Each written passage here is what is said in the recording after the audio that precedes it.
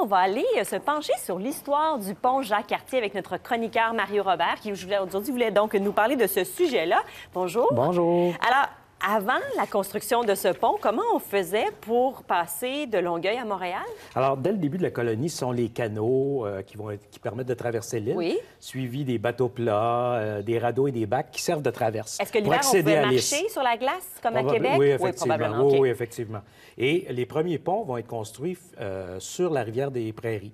Euh, à compter de la décennie 1830, dans les secteurs d'Annecy et de Cartierville. Il y aura des ponts qui sont Oui. construits là. Évidemment, la rivière étant moins large. C'est ça, c'est plus facile à construire. Alors, euh, à partir du milieu de- du 19e siècle, on voit apparaître le chemin de fer. Et comme les rivières et le fleuve, ce sont des, euh, des obstacles hein, au commerce, on, on va donc construire des ponts ferroviaires. Alors, le premier pont, c'est celui de la Compagnie du Grand Tronc en 1854, qui va relier euh, Sainte-Anne-de-Bellevue à l'île Perrot. Donc, il n'existe plus aujourd'hui? Ce pont-là est encore Oui, là. il- Oui, oui, il est OK. encore là. C'est un pont ferroviaire seulement, Oui. sur la rivière des Outaouais. Et l'année suivante, la compagnie ferroviaire, le Grand Tronc, va entreprendre la construction du premier pont sur le fleuve Saint-Laurent. C'est le pont Victoria. Évidemment. Alors, euh, évidemment, il y a un premier train qui va euh, euh, franchir le pont en 1859 et le pont va être officiellement inauguré en août 1860 par le, par le prince de Galles, qui est le fils de la reine Victoria. Et quant au Canadien Pacifique, ben, il va se faire construire lui aussi un pont sur le fleuve entre Kanawake et la Chine entre 1883 et 1885. Donc ça, c'est les deux ponts qu'il y a sur le Saint-Laurent à cette époque-là. OK. Et après, à partir de quel moment on pense à construire un pont donc qui relierait Longueuil et l'est de Montréal? Bien, évidemment, il y a des traverses euh, qui existent euh, entre ces deux lieux dès le 19e siècle. Et euh, en hiver, il y a un véritable pont de glace qui est balisé euh, par des, des arbres qui permet aux cultivateurs d'amener leurs euh, leurs c'est quoi, c'est un pont de glace? Un pont de glace? Oui? Dans le sens qu'il est fait en... en- C'est-à-dire que c'est la glace qui est, qui est prise? Ah oui, un pont. Hey, Catherine, un pont, parce que je- j'étais encore dans ma- mon pont, ma structure Non, non, Un pont de glace, dans C'est le sens vraiment qu'on un peut pont de marcher glace qui est pour balisé par des arbres Oui, pour merci. être sûr que les gens se, Oui, oui, bien sûr, pas dans l'eau. Alors, euh, Ah, je suis dans l'ingénierie un matin. ça, c'est en hiver, Oui. ça. hein? C'est juste en hiver. Merci. Alors, en 1876, il y a une compagnie concurrente du Grand Tronc qui euh, propose la construction du pont Royal-Albert. Albert étant le mari de Victoria Oui, qui était ça. décédé Oui. en 1861. Et à partir du pied du courant, euh, donc le site actuel, Oui. jusqu'en en passant par l'île Sainte-Hélène en allant à Longueuil. Évidemment, ce projet-là n'aura pas de suite et on va revenir aux traverses, au pont de glace, mais aussi en 1881 et 1885, on va avoir un chemin de fer sur la glace. Donc, il va y avoir un train qui va passer sur la glace entre Longueuil et Montréal pendant quatre hivers. Wow, Ça, c'est incroyable. assez Ah, ça, ça veut impressionnant. dire l'épaisseur de la glace était quand même ça. euh, bonne. Mais évidemment, ça ne durera pas. Ben oui. Et euh, c'est à, cette- à cette époque-là aussi, on pense à créer, à creuser un tunnel à cet endroit-là pour relier Longueuil à Montréal. Donc, euh, déjà, à cette époque-là, on pense à différentes alternatives pour traverser le fleuve.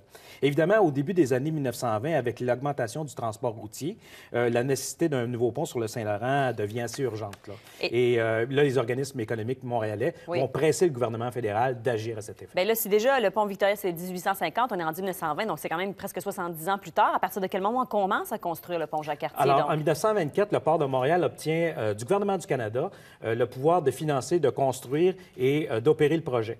Euh, il a aussi été décidé que le pont serait à péage, tout de suite en partant. Oh! On s'en ressemble à, à Oui, hein, ça- oui, tout à fait. Alors, au début de l'année suivante, en 1925, on va annoncer le choix du site qui va entraîner des expropriations du côté ouest euh, de l'avenue de Lormier, comme l'hôtel Sainte-Marie qu'on voit à l'écran, Oui. coin Notre-Dame et de Lormier. Alors, on va lever la première pelletée de terre euh, le 26 mai 1925. Et l'année suivante, on pose la pierre angulaire euh, dans le pilier numéro 26, qui est là où Notre-Dame et Craig se rejoignent, Saint-Antoine se rejoignent. Oui. Alors, euh, on va déposer dans, ce, dans cette euh, capsule du temps, disons, euh, 59 objets, mais malheureusement, on ne sait plus où est l'emplacement de cette, Ben voyons. de cette pierre angulaire-là. Faudrait faire des fouilles archéologiques. Oui, il faudrait démolir le pilier probablement. Oui.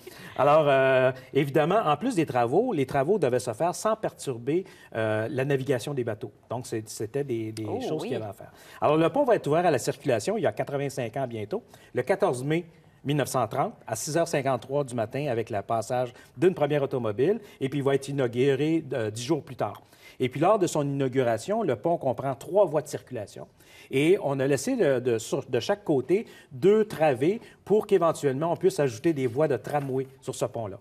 Hmm. Et là, semble-t-il qu'on le surnommait le pont croche. Là, je, ça me donne pas vraiment envie de le prendre. Pourquoi on l'appelle comme ça? Bien, si vous prenez ce pont-là, vous allez voir qu'il est tout sauf droit. Ouais, Alors, euh, il y a trois importantes déviations dans ce pont-là. Alors, la première va se situer au-dessus de l'île Sainte-Hélène.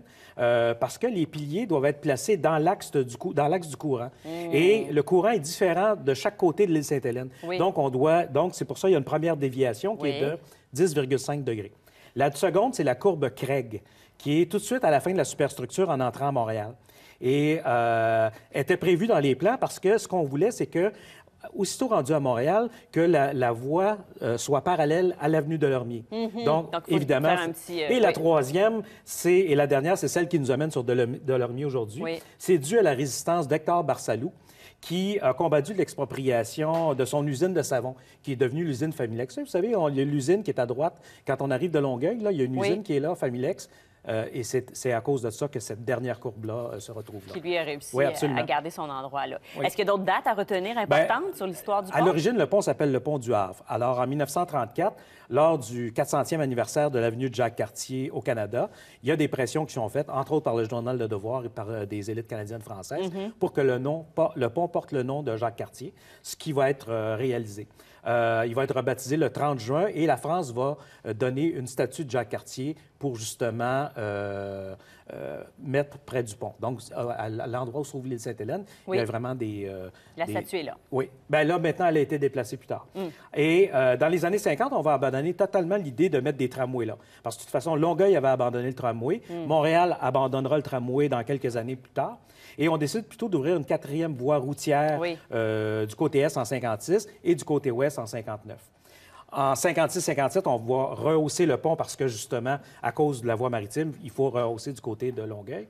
Et puis en 61, il y a une rampe d'accès qui est aménagée du côté de l'île Sainte-Hélène. Oui. Euh, pour les gens qui viennent de Longueuil. Parce qu'auparavant, les gens qui venaient de Longueuil devaient couper la circulation pour ah! embarquer sur l'île Sainte-Hélène. vous pouvez vous imaginer les problèmes que ça peut entrer en... Et le péage, en terminant, à partir de quel moment il était aboli? En 1962, on arrête, euh, on finit le péage euh, du pont. Et puis, évidemment, 1967 va faire que tout l'environnement du pont de Jacques-Cartier va changer avec le développement des îles et d'Expo 67. 67. Merci beaucoup d'être nous en parler. Merci, au revoir.